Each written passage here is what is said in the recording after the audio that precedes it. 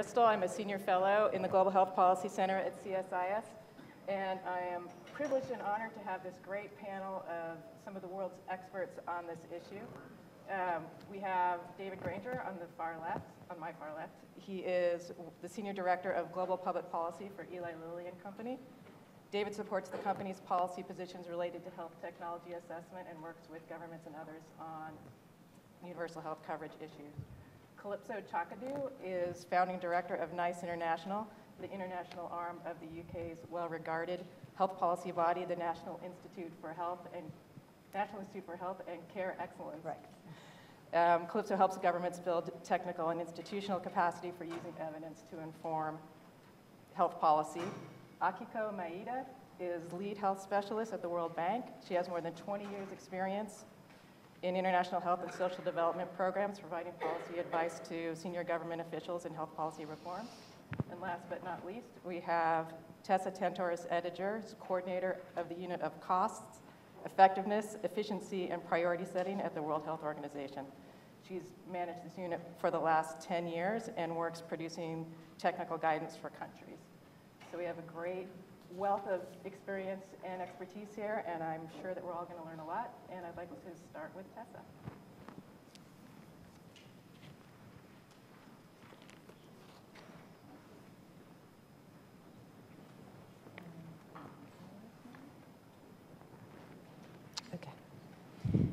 Uh, good morning, everybody. I'm very happy to be here with you.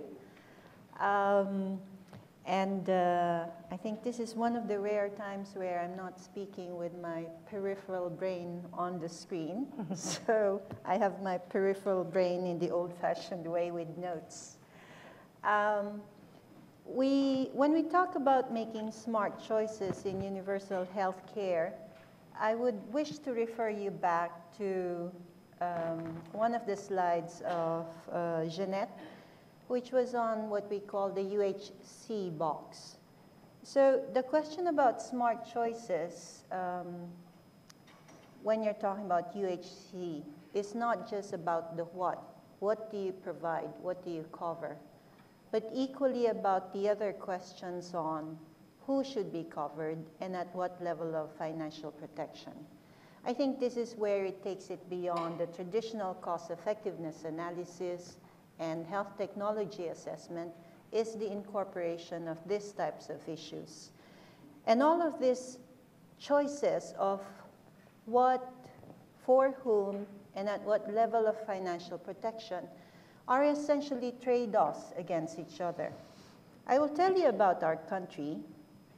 Our country is one of those where we've decided to cover the very, very poor, the first 20 percent, using government uh, tax monies uh, because our government has an explicit policy to actually improve the condition of the poor. And then we have the employed sector, both private and government. So we have the problem, which I again refer to Jeanette, the missing middle. At the same time, this particular package of services, we have, uh, we cover, we provide uh, renal dialysis, kidney transplantation. We also offer cataracts. Now, why would that be? Did it just happen that our Minister of Health used to be a transplant surgeon? Or that one of the board members of the Philippine Health Insurance Corporation is an eye surgeon? So these are just facts. I'm not implying anything. I asked the Philippine Health Insurance Corporation, how do you make decisions? They have a committee. They have a process. That's what they say. But then we have this very patchy and sometimes uh, I would call it unusual set of services being provided. But the question then is, should you continue expanding this set of services? We're adding cancers already. Or should we think about really the middle poor or the informal sector, the missing middle, because it's a trade-off. What we can spend for providing more services, we can also spend for providing across the board maybe a smaller set of services but covering everybody. How do we answer those questions? Who answers those questions? I think that's a very important thing when we're thinking about universal health coverage. And so, where do we get guidance? The global health community says, or the global community says, well, let's look at the uh, Sustainable Development Goals for post 2015 where every president of the members, uh, member states of the United Nations will sign up in September 2015. We're done with the Millennium Development Goals. We're thinking about the new set of goals and what is it that will be in the SDGs. It's going to be, this is the proposal. Let me, this is why I need my notes. The health goal proposed is ensure healthy, lives and promote well being at all ages. Sounds like health for all, no? Anyway, the explicit target is to increase life expectancy by six years in developing countries and two years in developed countries. You know, if you get six years in developed countries, you might get too old. So, two years in developed countries, including a 40% reduction in deaths before the age of 70. The indicators are life expectancy at birth and number of deaths under 70. There is an explicit, for the very first time, we learned from the MDGs, there is an explicit equity aspect to this, which is reduce the gap between the poorest and the whole population. And the target is to reduce the mortality figure, uh, the mortality before age 70 by 50% among the poorest compared to the overall. So there are these goals, but how do you actually flesh out? How will I decrease uh, premature mortality before the age of 70? How will I increase the life expectancy? We have eight sub-goals.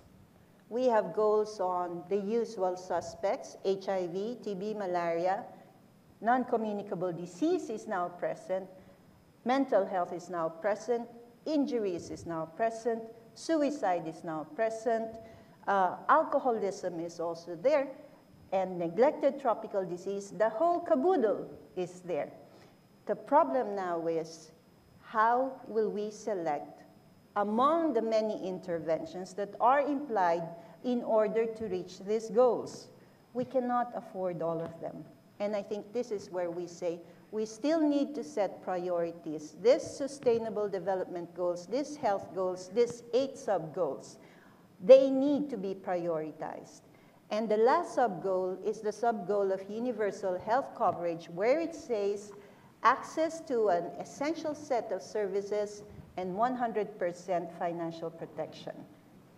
Now, what will be this set of essential services? There is a core set of indicator services, but each country will decide what is that set. And what can we now say to these countries? How do you decide which set this is? I think from WHO, what we offer are mainly two things. We offer a set of cost effectiveness analysis, which we call the CHOICE program. This is choosing interventions that are cost effective, which now looks at the main interventions against all of these conditions using a standardized method. So it allows you to legitimately compare the cost effectiveness ratios. So this is one set. The other set is, a, is, is the other tool is actually a tool about process. We assembled a consultative group of ethicists, economists, and country people, and we asked them, what is the right process? How do you make the trade-offs? And so there is a guidance which is called Making Fair Choices on the Path of Universal Health Coverage. It's one of the very few uh, uh, statements from WHO, which basically says what the SDG sub-goal of UHC now says, which is really the first thing you need to do is get a set of services for everybody.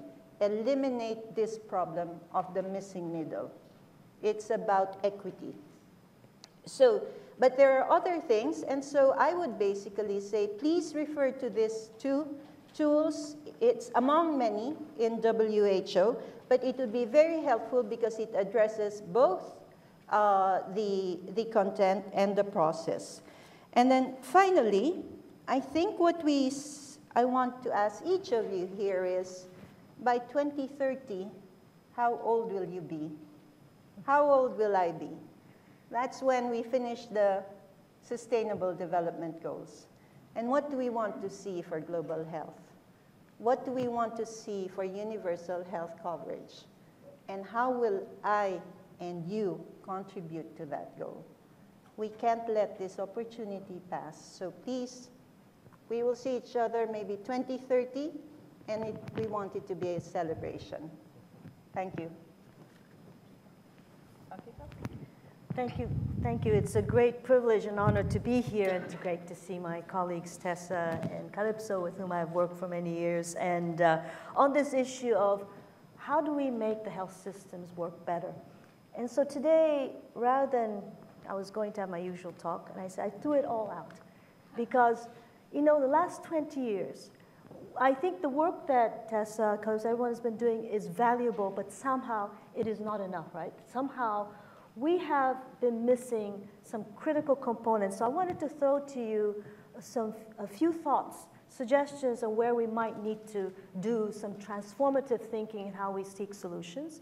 And then I'd like to give just a couple of examples uh, from my own country, Japan, since you've worked, you also spoke about Philippines.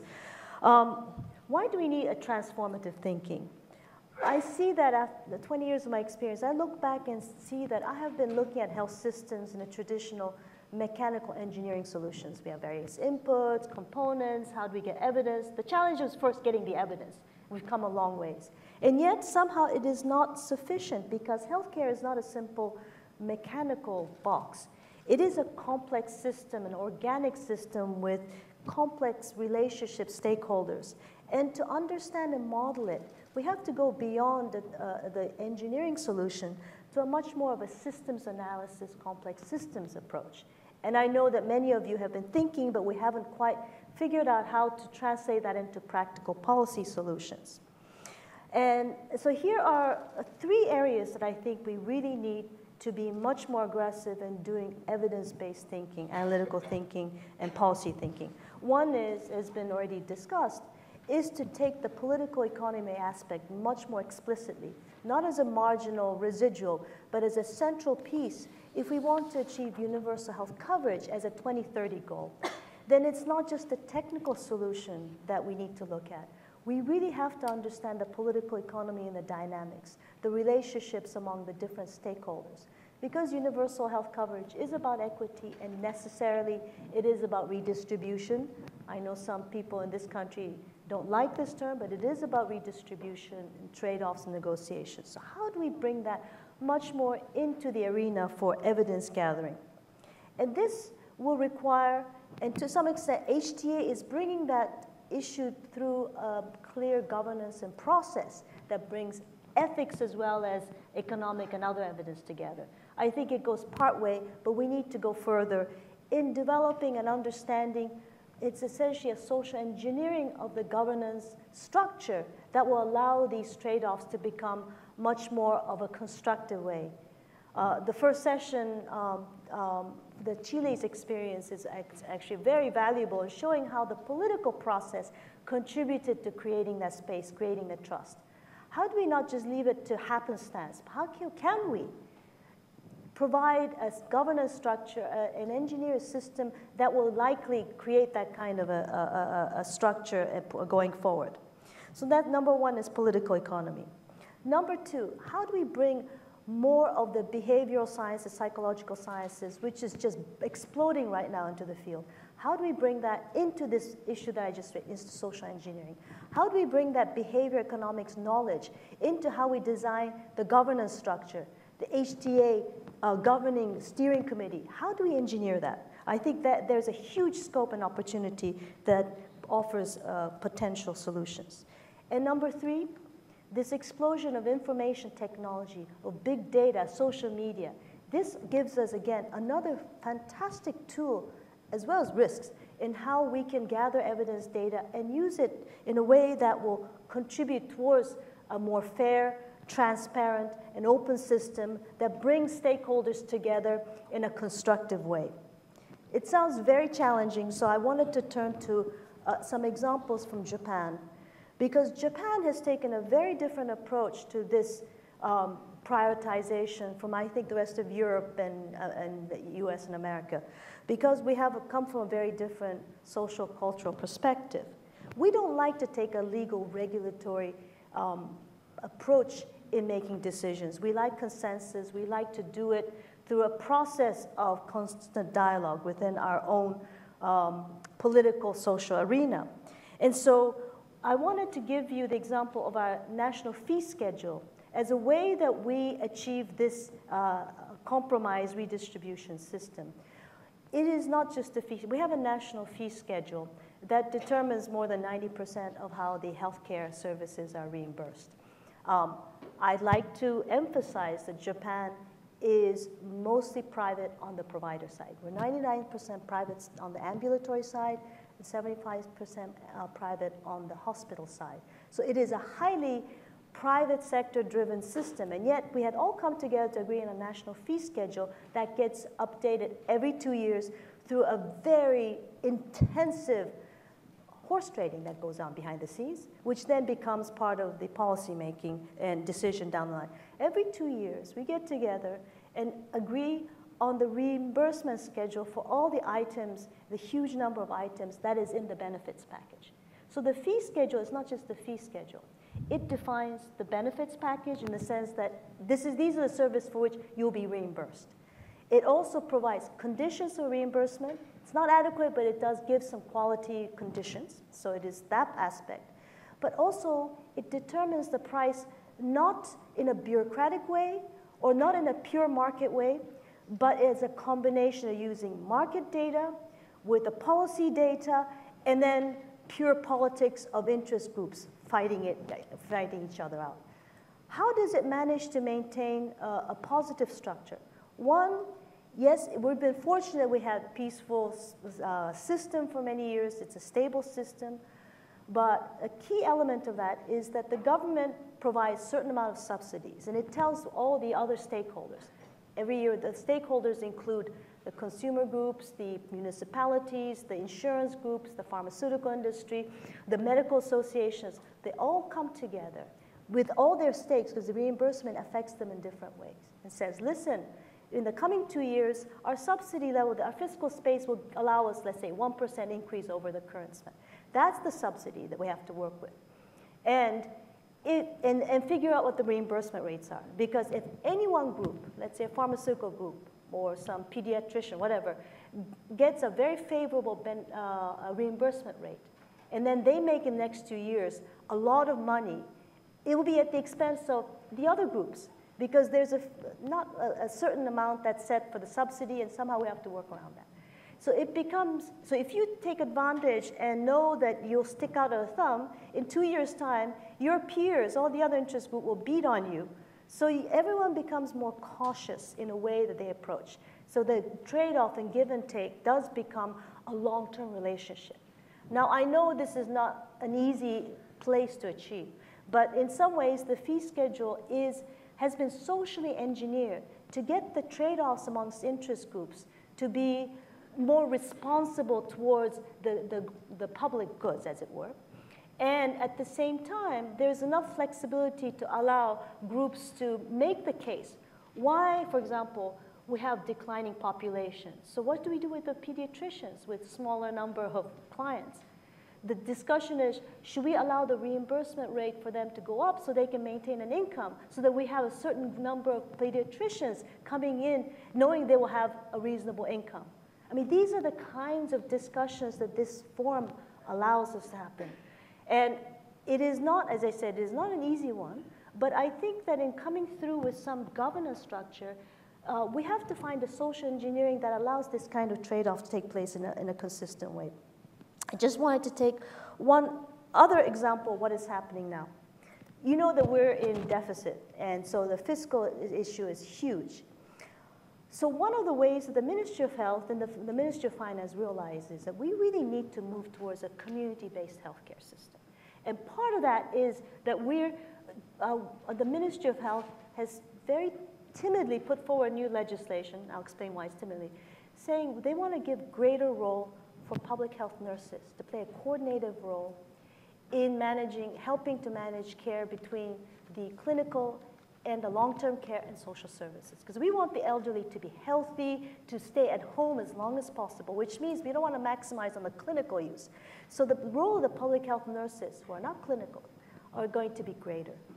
Now, this is getting a huge pushback, predictably, from the medical association. Because, Ooh, we don't want to be put under the, who do they, what do they know? You can imagine the kind of dialogue they're having.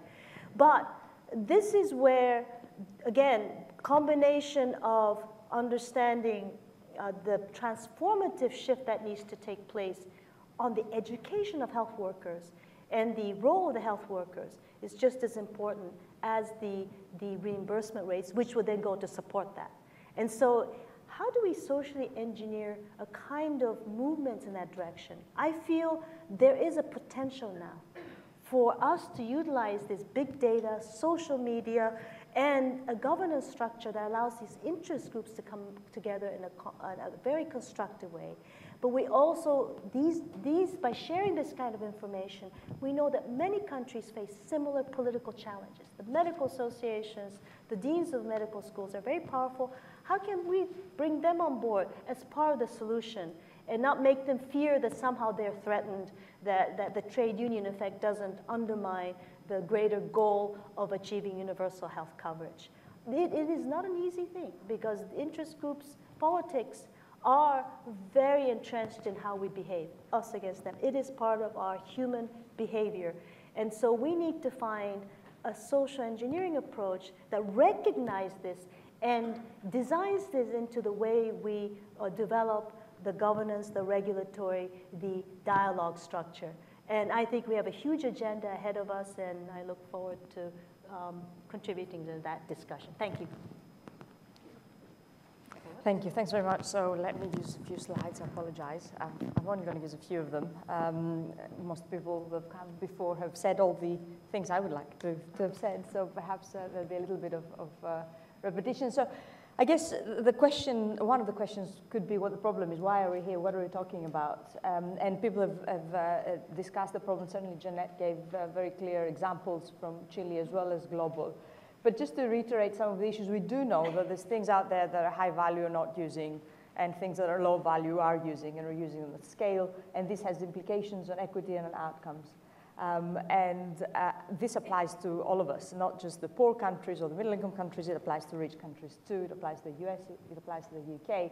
Um, I work for an organization called NICE, we're part of the public sector, advise the National Health Service. Every day we feature in um, uh, the, the, the, public uh, media, the press. this is from yesterday on, on, sort of on my way here, not on the plane. I was very pleased to be able to log on using the United uh, Wi-Fi. But um, so I downloaded this, and uh, it's exactly what Jeanette said when she started about the opportunity cost. So um, this is a long piece worth uh, uh, looking up if you're interested. It goes through the different challenges. We're in a pre-election period right now in the UK. We've got elections coming up in May. Basically what it is, it's, it's about uh, what NICE does um, and this idea that if we say yes to something, however important that something may be, um, we, we may be well saying no to other things. Um, and this idea of making trade-offs and choices, making them explicitly will anger people, will, will uh, sadden people, but providing a drug, a technology to one person means that someone else is denied the care they need. And we're having this debate very publicly right now in the UK, and I think that's a really important thing. Um, so to me, priority setting is about a number of things, and people have mentioned some of them. It's about country's own institutions and processes. It's not about lists that we develop in Seattle, in Boston, in Geneva, in London. It's not about global lists. It's about local lists, it's about local decisions. It's a political process. It's about setting out ground rules, and, and uh, Akiko mentioned that it's about engineering a governance structure which could well tackle issues like corruption and uh, make uh, people who spend people's, other people's money accountable, and that's really important. It's about quality improvement, and uh, I know uh, Sebastian will talk about quality later. Making quality improvement uh, choices is about making priorities. Quality costs money. It doesn't come costlessly, and that's a big problem with health technology assessment, that has ignored the uh, idea of quality, and equally quality has tended to ignore costs, but the two go together priority setting is about transitioning to a new model of development assistance, and I want to talk a little bit about that because as countries become richer, GDPs per capita grow, uh, but still the world's poorest people live in relatively rich countries now. how do we reach these people? And it's through healthcare to an extent that acts as an equalizer. Benefits packages are accessible to everybody.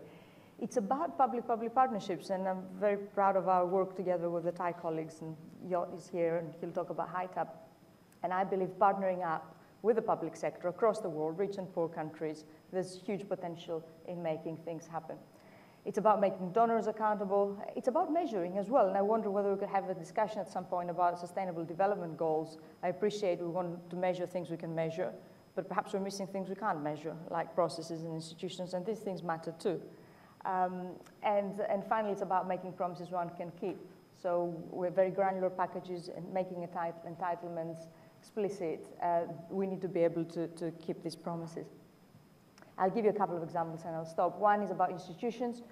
We've been working with the government of India for a number of years. In their latest draft health plan, they talk about an institutional approach to uh, selecting technologies. Very proud we're mentioned. That's why I put this quote up there. We're the only non-Indian institution mentioned in this policy. But what I want to highlight is the fact that they talk about uh, values, social values. They talk about participatory processes. And I think that's as important, if not more important, than the evidence and the technocratic solutions and quick fixes that a lot of the time the global health community has um, um, edged towards. So it's about procedural fairness, it's about inclusiveness, it's about transparency, it's about independence. I think implementing these things on the ground and what Tessa mentioned about convening people, bringing people together, uh, it's really super important. And I think it hasn't really uh, been emphasized enough in, in the debate uh, recently. A couple of words on uh, aid. I can tell you, DFID, we've got 0.7% of our GDP earmarked for uh, uh, global development assistance in the UK. This is enshrined in legislation, but it's huge, huge emphasis on how we can ensure this aid uh, meets two conditions, additionality and sustainability. So what happens as countries become richer, as countries graduate from the Gavi and the Global Fund thresholds, how do we reach these countries, uh, how do we reach the poor within these countries as uh, inequity also grows as, as countries become richer. But whilst doing all that, we need to ensure aid uh, adds on, doesn't displace on country spending, and it's sustainable. So uh, when we talk about demand uh, for priority setting support for institutions in middle income countries, yes, that comes from governments who have more money we can spend. But what happens in really poor countries where you've got organizations still like the Global Fund and Gavi, and though the role of these organizations is not as important perhaps as in the past, even the very poorest countries spend more of their own money on, on health. We know that. Only a very few handful of countries depend on more than 50% of their health budget on foreign aid. However, a lot of that money that the countries spend, very poor countries spend, goes towards salaries, fixed costs. So when it comes to money they can spend on technology and services, there's, there's really groups like the Global Fund and Gavi who, who still have a very important role to play. So what is the responsibility of those groups and those who fund them to uh, boost priority setting uh, within countries and own institutions? I talked about public-public partnerships. This is a consortium of partners who work together, um, uh, working with partners in other countries, and I've circled NICE and HITAP because as two government organizations, I think this public-public partnership working together with ministries of health in the Philippines, Vietnam, and China is really powerful and builds trust. And it really, you see, you see fellow policymakers in other countries really wanting to work with us, and I think that's really important. So um, I'll just finish, um, I mentioned uh, earlier about uh, sustainable development goals. I don't know much about them. Uh, Tessa kindly read out the list and, and it looks daunting uh, and important. And again, I want to come back to my earlier point about uh, whether we sort of end up looking for our keys under the light uh, just because that's where the light is. I think it's really important to think about, consider whether we should be uh, reporting on other things uh, in addition to percentages and, and, and however granular these are and broken down across socioeconomic groups. So do we care about institutions? Do we care about countries, governance? And if we do, how do we measure that? So I'll leave you with this. This was published a few years back in, uh, in The Guardian. It was um, a question The Guardian posed, The Guardian magazine, Saturday. Um, uh, what is the most difficult ethical dilemma facing science? And this was a dialogue between Sir Richard Attenborough and Richard Dawkins. And they were referring to a debate again involving NICE and a cancer drug, a bowel cancer drug, which was very expensive. NICE said we can't afford it. So um, this, this, this was the, uh, um, the top dilemma, uh, as per this debate at least. How far do you go to preserve individual human life? Because as Jeanette said, in the end of the day, it is about individuals, it is about people. uh, however much we want to care about our populations as a whole. So how do you make this decision? Um, and I don't have an answer for that, but this is about this is what priority setting is about. Thank you. Thank you, Nellie. and uh, Stephen, great privilege to uh, be here with you this morning. And uh, not an easy task to be the end of uh, such a, an illustrious panel um, some, with some really good uh, uh, discussion already. Um, and, and, one of the panelists earlier mentioned that there's a need for transformative thinking. And I think that is something that is starting to happen in the pharmaceutical industry as well in terms of how it thinks about and engages with uh, countries that we're talking about here in terms of low and middle income countries on the journey towards universal coverage. And by that I mean that you know, historically the industry has dealt with a lot of those countries or seen a lot of those countries in the sense of being able to sell some products to a segment of the population that could pay for them and um, then on the other hand engage in, in um, aid and other types of programs, donor programs, which would deliver product to, to those who couldn't. It was a fairly simplistic sort of view, I think, of things. As universal coverage spreads and, and, and gains, you know, we see this sometimes very ambitious political commitments to um, the extent of movement towards universal coverage, often not matched with a financial capacity to, to really deliver on those things. And that is what it is. That's, that's the reality.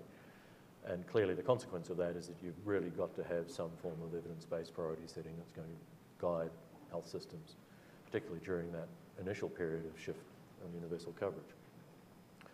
So I think the, the pharmaceutical industry is not um, uh, concerned about the concepts of evidence-based priority setting. You know, we're, we're very used to the notion of generating evidence. Have endless discussions about how to better generate evidence, particularly for, for modern HTA requirements and systems. But the notion that you know, systems are going to rely more on evidence-based priority setting is, is, obviously a sensible one. And it's a far better alternative, I think, than having decision-making that is uh, you know, far less clear in terms of how it's made, it's, it's, it's opaque, uh, it's difficult to understand. So in that sense, um, we, are very comfortable in sort of moving forward with that sort of um, concept and engagement. What we're seeing at the same time as this um, expansion of discussion about universal coverage is a number of international agencies from WHO and the World Health Forum Declaration last year um, and, and, a number of others advocating health technology assessment as one of the key tools to achieve that, that sort of evidence-based priority setting. And Kalipso's organisation you know, is at the forefront of being able to be quite um, nimble and, and available to, you know, to help in, in a lot of parts of the world. Um, one of the things that we've thought about a great deal from the industry point of view is um, how that happens and how um, HTA systems and processes get installed into these health systems in this stage of, of evolution and transformation. And I really liked one of the charts from Jeanette around the approach in, in Chile because it's, it's a good example of what I think we ourselves are starting to talk about as macro HTA. So where you take a, a much more holistic view of health system needs, disease burden, uh, health system capacity and infrastructure, and you sort of work systematically through that to determine not only what do you need, but what's going to be achievable and feasible given all of those constraints that you've got as well. Financial constraints obviously being a very large one of those. And so there is some literature now around the concept of sort of macro, meso, and micro HTA, with macro being that fairly broad, holistic health system approach. Some people use the term meso HTA to think more about clinical pathways and clinical guidelines, which of course is something that NICE in, in England does extremely well by linking its, its technology uh, guidance to clinical guidelines and pathways. Very, very practical. And so we see that as being very, very important in a number of these, these situations as well. And then below that you have what we would call micro HTA, which is the way that a lot of people have thought about it historically, which is you know, product B versus product, uh, product A versus product B in terms of um, comparative clinical effectiveness, and not in all parts of the world, but in, in many parts of the world, comparative cost effectiveness. And so I think what our uh, consideration at the moment is that um, it's quite challenging to sort of move straight to that micro level of HTA uh, in situations where you don't necessarily have the capacity to do that in terms of, of human resources uh, with, the, with the appropriate skill levels, um, and most importantly, data. This is you know, very data-driven sort of work. But some combination of those elements can become a, a, a very viable and feasible way of doing that. Industry is, is very keen to have some sort of seat at the table as, as that sort of pros, those sort of processes get worked through and thought about and installed because we think we can partner uh, effectively in that sort of environment. Um, and, and clearly, you know, when you look across disease burdens and, and disease needs and health system needs, um, as other speakers have said, you know, it's not a one-size-fits-all sort of solution. And so we do see situations where um, more specific micro HTA is being used to solve one particular problem. Um, for example, I'm aware that the Philippines uh, has worked effectively with HITAP on um, uh, an HTA approach to HPV um, vaccine. You know, so, so dealing with a specific technology at a specific time to say, you know, we, we really need to get that sorted for, for our country. Um, but in the meantime, you know, you have a lot of other things to do. We're also interested in how do you, if you take that sort of macro HTA approach and, and think back to the, to the slide that Jeanette described that, you know, how do you work that through down to the day-to-day -day formulary decisions, which are where, where, from our point of view, from a pharmaceutical industry point of view, is where the rubber meets the road in terms of you know, how you make decisions about what goes on formularies and at what prices, etc. So it's getting that, that sort of process to flow through, I think. Um, Kalipso mentioned about public-public partnerships, and clearly there's a lot going on in that space that is, that is connecting people and, and sharing enormous amounts of information. Um, for those of you who were at dinner last night, I spoke a little bit about public-private partnerships and the way in which some of those are evolving and maturing and, and doing some new and different things, particularly in, in um, NCDs. And I think there are some learnings from some of those about how you get this intersection working between the, the sort of the more macro considerations and the practical delivery of, of um, technologies on the ground. Um, so I think you know we're not a long way apart in terms of, of thinking about this in similar ways, um, and you know if the systems and processes that have been talked about create a situation where um, we can be part of the discussion, we can um, understand the processes and the thought processes, um, and be able to respond constructively in negotiations that result in formulary decisions, then I think we've got a more continuous sort of uh, process in place. Um, I want to finish really with a, uh, just a quote from Kalipso, because I read everything that Kalipso writes. and uh, this comes from a, a paper, um, I think it was from last year, uh, on affordable cancer care. With, you know, and, and cancer is a particularly challenging one, I think, for, for many of these countries. You know, there's a lot of things that one can do with low-cost generics for many conditions. But at some point, for some diseases, you've got to start to think about other technologies, slightly more innovative technologies, and how you start to integrate them into a system. And those, those, are, those are big challenges. So in this particular discussion about affordable cancer care, uh, of which Kalipso, as I say, was, was, was one of several authors, uh, I thought there was, a, there was a good statement. It says that structural, organisation and cultural issues are equally important factors, if not more so, in the delivery of effective cancer treatment than expenditure alone. The paper talks a lot of, about a lot of other things as well, but the point that I wanted to make is that it's this consideration of structural, organisational and cultural issues, which good HTA should do, um, you know, is, is a really big part of it. And I think what uh, industry is concerned about is that in some situations where you've got this um, intense uh, affordability issue because the financial capacity is not keeping pace with the, the universal coverage expansion, then HTA can become a, a cost containment mechanism that, that is there to sort of uh, be, a, be a barrier to adoption of, of um, more costly things. Done well, it obviously is not like that and doesn't have to be like that. Uh, and it's trying to find this uh, balance that does have a broader set of considerations, but clearly with affordability at, at, uh, as a key part of it. Um, Well, I'm going to ask a couple of questions, and then we can turn it over. Is this on? Okay? Okay, great. Um, So, so obviously, all of you are talking about the social and political implications and that are very country-specific, but I'm wondering, at least on some of the more technical aspects of it, which are, need uh, need some combination of these, is there, can a regional approach, it's, it seems pretty uh, resource-intensive, and it's, um, you know, data-intensive, and it's technically intensive. Is there some way, is there any room for, for countries to do this sort of collectively at a regional level? Kalipso? Um, I- think you're right, and I think already countries are, are doing this, and I think, you know, with the internet in particular, uh, people look up what um, organizations like WHO uh, publish, um, but also, most importantly, what other countries do.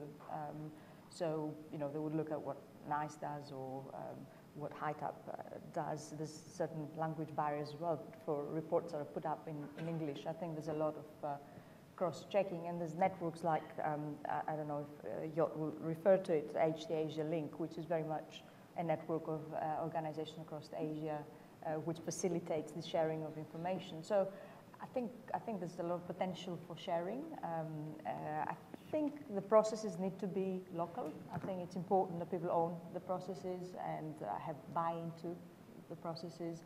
And I think there's also technical barriers regarding costs and resource use and, and all that, affordability issues, different countries, different budgets, different social values. So all these things uh, have to be taken into account. But uh, I think already there's a lot of uh, work happening across countries. Um, I wanted to raise this issue of the health workforce because what is related to this is because, as you know, um, health labor market is globalizing, regionalizing. You have within the EU the movement, uh, ASEAN is coming up with that. The implication of this is, after all, healthcare is provided by the health workers. And if they come from different medical backgrounds and so forth, and their preferences, and they play an important role in determining what services are provided, then the, the regional globalization offers both opportunity and risks in how these information, knowledge about the, the clinical standards, practices are propagated or not.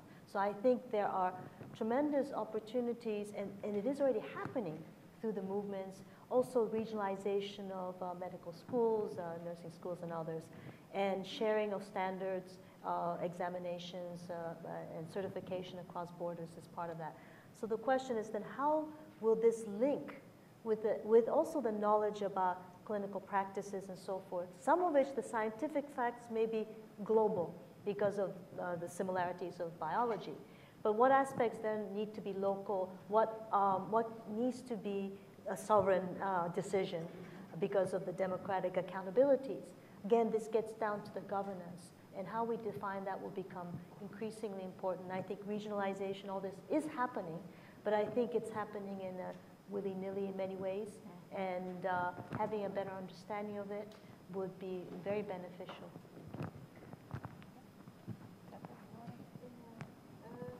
I think, picking up from what Akiko said, the knowledge is global.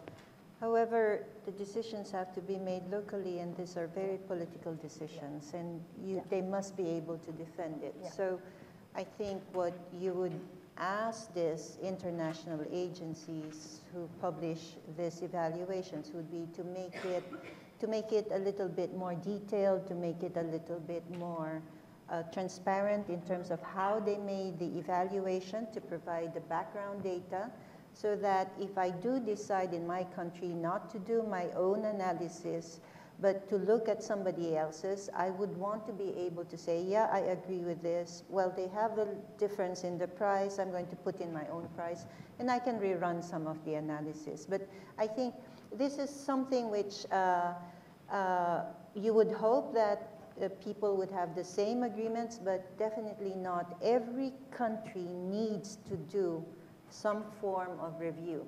But many of us here who work in international agencies will be able to facilitate this by being more open in terms of the data that we provide, which were the basis for our recommendations. So I think we, it, it, it, you can't take out that local process. It's very political, and especially if there are trade-offs, and there are winners and losers, and there are voices here and voices there, then you really have to make sure, as, uh, as Jeanette said, you can uh, stay in the newspapers and keep your head.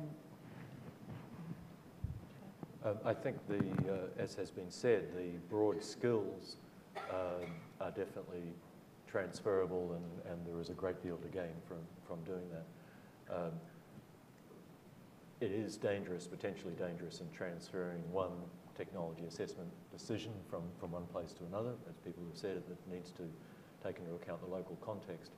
But I also agree with um, the point that at the end of the day, it's the way in which that process is integrated into the decision making in a country. And I think Jeanette made that point really well in terms of, you know, at the end of the day, it's a political decision. And so the, the playing out of that or application of that HTA in each health system needs to be done locally in the context of, of what the problems of, of the day are.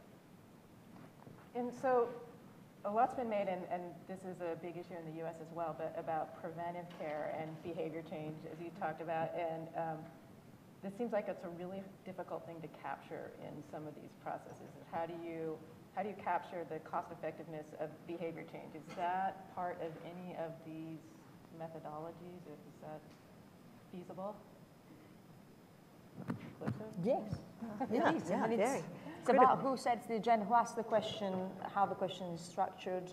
Certainly, global um, donors fund a lot of behavioral change interventions in the HIV work, for example. So there is an evidence base. Now, whether that's consistent with them funding these things, it's a different story. But the, there's, there's evidence and there's ways of capturing. I know in Thailand, HITAP has done a lot of work in a much broader sense of HTA, looking at things from uh, policy interventions to um, behavioral change interventions, prevention.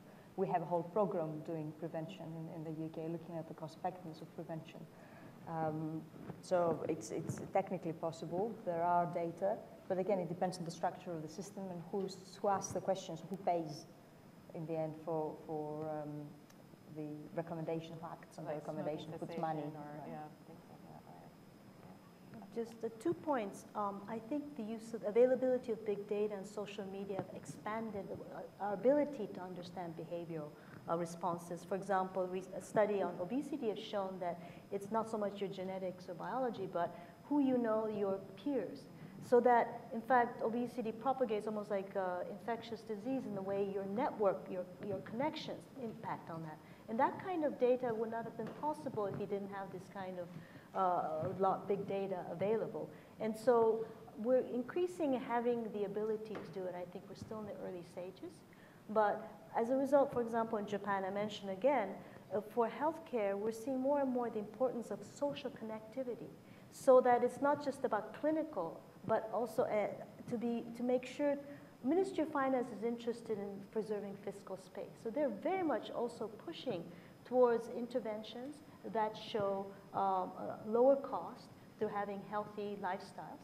And, and they have collected data on these. That is why they're promoting and pushing for more home-based care, community-based interventions that includes psychosocial connectivity that improves your immune system and your ability to uh, fight infections. And in the future, I think the data being collected, whether it affects cancer and so forth down the line.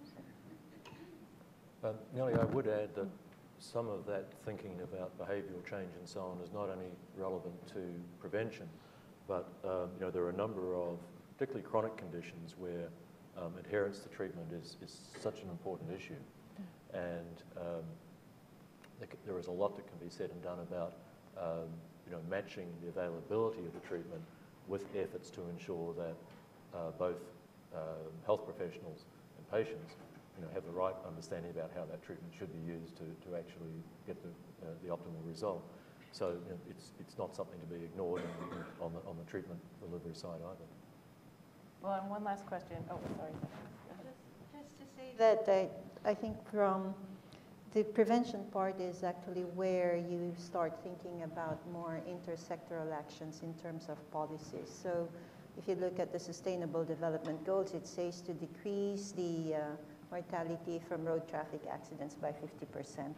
I'm not going to really tackle that in my small essential package of services. I would probably tackle that through policies and talking with the Department of Transportation in the same way that obesity and all of this uh, other, you know, non-communicable disease, you would basically be thinking really about the very strong impact of behavior modification by certain policy changes like uh, tax, taxing uh, cigarettes or alcohol or, or uh, putting in incentives for manufacturers to decrease sugar, et cetera, et cetera. I think all of this uh, is still, for me, part of health, but Yeah. more intersectoral. And really, this is where we can probably have the most gains for many of these conditions. We will not be able to achieve it within health alone, our Yeah. usual definition of health. Well, and sort of on the flip side of that, how in these processes do you preserve space for innovative um, interventions that are obviously, could potentially be costly initially? Um, What's the, how do you create space for that?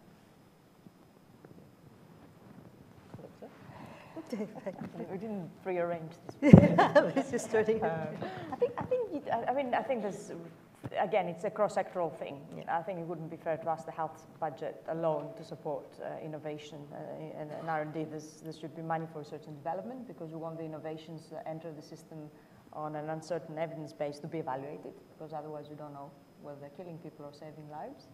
Uh, we want to have a good industrial policy that supports um, wherever it is you're standing and what level development you are, homegrown industries, overseas industries. Um, we want to have a strong regulatory system that attracts foreign direct investment. Um, so I think my answer would be that um, we, we, need not to ask too much of the health budget. Certainly in a, in a current time of uh, uh, recession, uh, the con- major concern right now is to cover as many people as we can with things we know work and cut waste.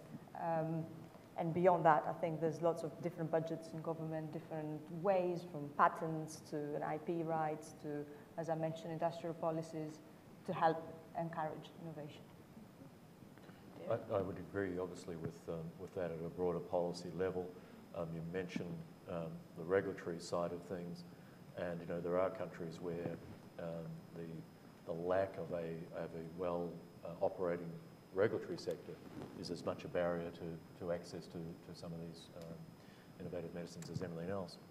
But I think in practical terms about how one can start to integrate some of them into um, an evolving health system, um, there is a lot to be um, discussed, I think, about the concepts around appropriate use. So in other words, you know, making something available does not mean to say that everybody should get it, you know. Um, and there is a lot of expertise developed in, in some health systems around different, quote, appropriate use strategies, which can mean that you, um, you know, targeting the availability of that treatment to the, the patient group where it's likely to be most effective and most cost effective. And that can be done through, through various uh, ways. Brazil, for example, has got quite a, an established system now of um, using uh, expert clinical groups to develop um, clinical guidelines, and the only way that one gains uh, reimbursed access to, to a number of higher cost, more specialised treatments is by adherence to that set of guidelines which has been developed through, through a clinical consensus. So there's a whole range of tools that can be used in, in, in those ways. So I think the appropriate use concept is, is useful. I would like to pose this issue with transforming medical education. As I was originally trained as a biochemist, and it always struck me how different the medical students were from those who were doing scientific research, a different culture. And healthcare industry has often been cons- more conservative in adopting different types of technologies. That's a huge area because I see that there is a tsunami of innovations already in the pipeline that's coming.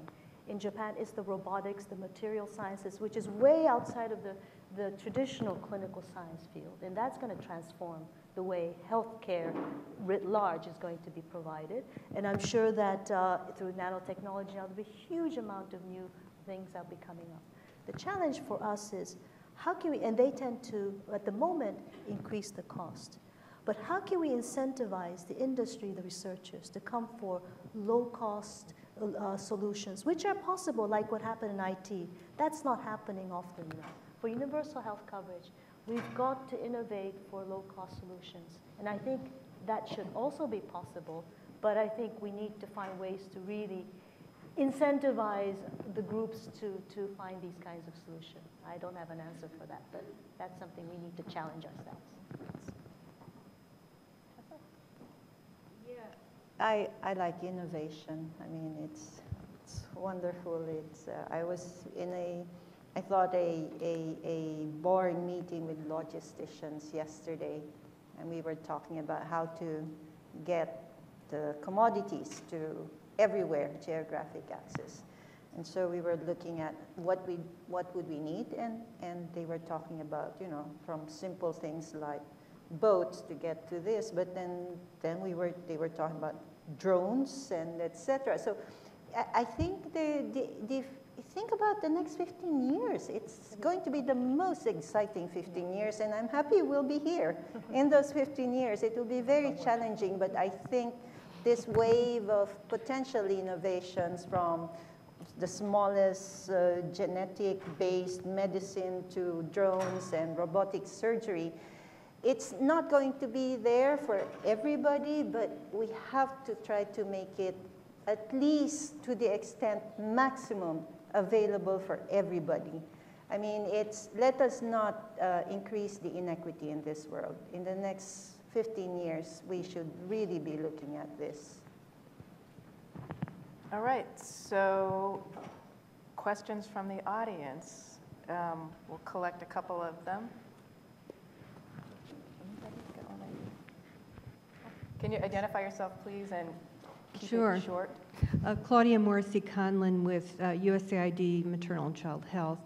Um, I want to thank uh, Dr. Vega and the panelists for really a very stimulating conversation, particularly around the issues of prioritization. And my question to the panel and to Dr. Vega, if she wants to take this, is I don't hear a lot about instances where we say yes in order to be able to say more yeses. It's always we say yes to, to something we're going to put on our essential service package, so, but we have to say no. And I, it seems to me the discussion of the epidemiologic ecology, if you will, is very stable and very static here. Um, and that I believe all of us want to reach universal health coverage, not only because it's the right thing to do, but also because it then rationalizes our use of resources so we can say yes to more things. So I'd like more discussion about this policy box being more malleable and, and what in the next 15 years can we garner by saying yes now?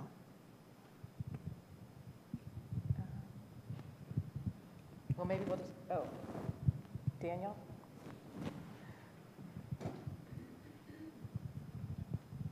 Thanks. Hi, I'm Daniel Cotlear from the World Bank. And uh, this is mostly to do with, uh, with a point Kalipso mentioned in one of the slides. There's a lot of uh, technologies that are great and have not been taken to scale.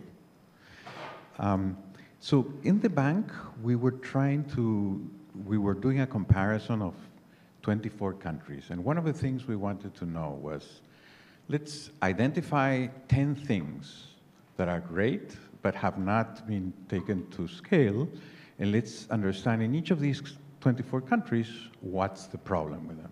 So we were looking for 10 great things mm-hmm. that have not been taken to scale. Um, and we couldn't find that list. Maybe we checked in the wrong place. Is, is there such a list? Um, and I wanted to combine this with a, a surprise, perhaps, uh, that came out of the work done by the Commission of Investing in Health. Uh, they have this uh, estimation of what it would cost to achieve convergence. And they do that estimation based on some technologies that they've identified and have not been taken to scale. But all those technologies are uh, referred to communicable disease and maternal and child um, care. So perhaps my question is, many of the countries that are going, that are doing universal health coverage are expanding beyond that basket.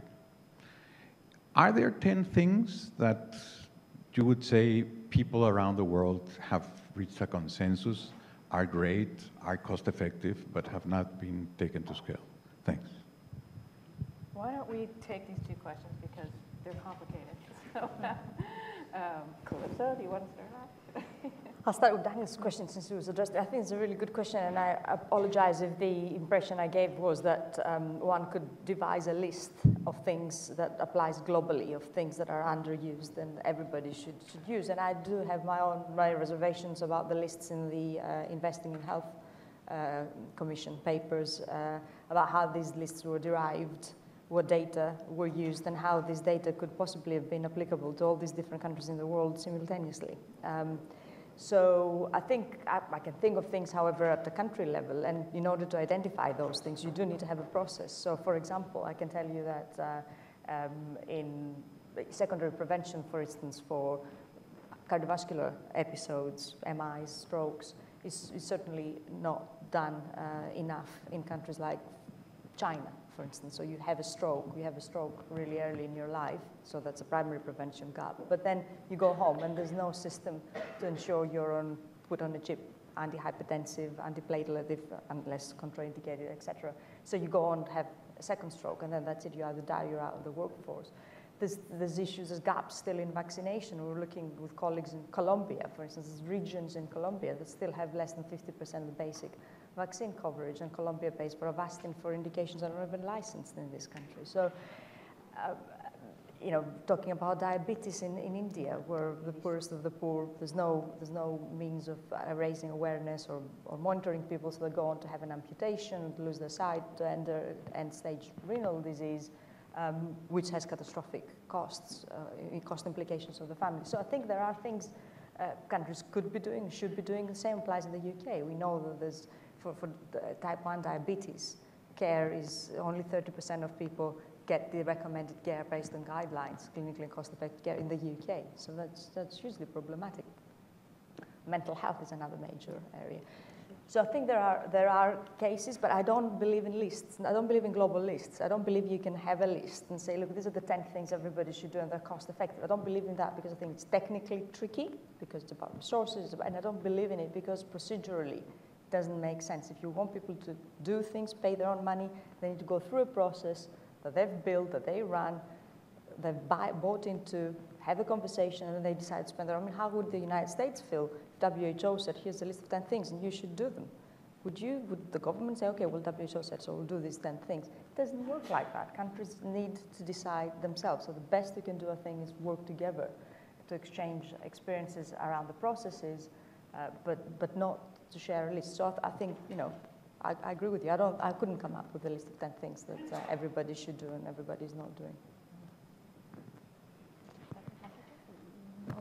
Sorry? Mm, Maybe I'll, for one Helga? to come in into discussion Second? so at this point. The second. Yes. First question, Yes. maybe I'll Okay. respond. First question about uh, how is it that we're always saying yes more and more and more? Of course, there is a pressure, as we said. If you look at the behavioral sciences, people want more. As an individual, you want to have access to all, but how do we get that trade-off? So I think the discussion here was at the public level, as the collective level, how do we get that trade-off decisions done? Because yes, maybe you're saying yes on paper, but de facto, the countries that we work in, in fact, people are not get, getting services implicitly or explicitly, a lot of times implicitly. If the budget's not there, even if it's supposed to be there, if the drug is not there, the drug runs out halfway through the month, and so de facto, um, those who come at the letter, these actually, these rationings are actually happening everywhere. What we're hoping for through HTA is at least to make it more transparent, so it's not, un, it's not implicit and somehow covered up, because then the poor, the underserved, the, the marginalized groups are the ones who suffer the most from this. How can we make it more transparent? And again, there's no easy answer, but how can we get a, a country, a community to have a more transparent discussion, to have a fair understanding of the trade-offs? There's, it's not going to be easy, and it's, it's always going to be a negotiated approach. But I think that's one of the, the biggest challenges that we, we all face. Um, David? Um, just a, a, a, couple of comments related to that question. So within um, HTA circles of, of, people who get together to talk about HTA, uh, there is also the notion of disinvestment. So the idea that you know there are going to be various technologies that are no longer regarded Yeah. as, as useful or, or suitably effective or cost effective. And active disinvestment is something you now start to see in, in some systems. Sort of related to that, but a, but a, a different um, concept, is that of um, concept of headroom for innovation. And so this is probably something that's applicable in, in health systems you know, on the more developed end, but um, maybe not. Uh, th- there are a number of situations where uh, even generics uh, prices are higher than they perhaps should be for all sorts of reasons um, related to supply chains, markups, taxes, all, all manner of things. And uh, there are some examples now where um, industry, in a, in a broad sense, has worked with governments to figure out, you know, how do we readjust some of that structure so that there is, in fact, more, quote, headroom for innovation, so that, you know, yes can be said more uh, in, without necessarily disturbing the whole, uh, the whole ecosystem.